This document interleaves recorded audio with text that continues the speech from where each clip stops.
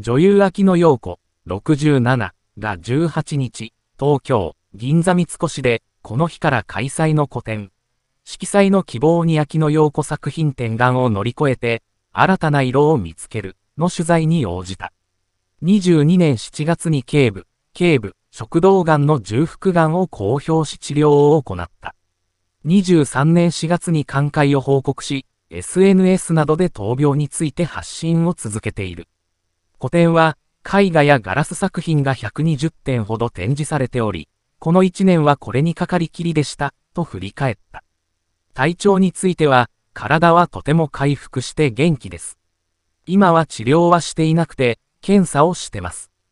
高2が出てきたら退治するという形で。検査は、今までは3ヶ月に1回の検査だったんですが、今年の後半から半年に1回になりました。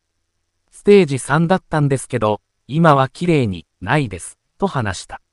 また、11月に検査したらクリアになると思いますので、来年は女優業をしたいと思います。舞台をやってみたいなと思います、と希望を語った。売上の一部はがん研究のために寄付される。秋野は初回の個展について、去年やらせていただき、全部買っていただきました。本当にありがたいです。寄付をするという気持ちに賛同してお買い上げいただいたのだと思います。今回もそれを期待してます、と笑みを見せた。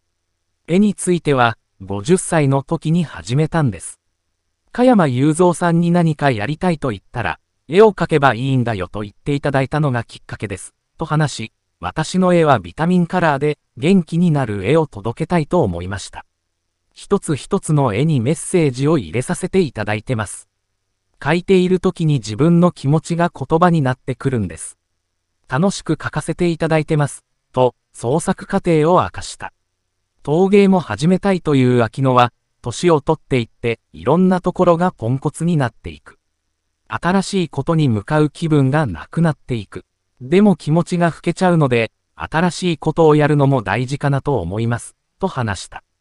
23日まで。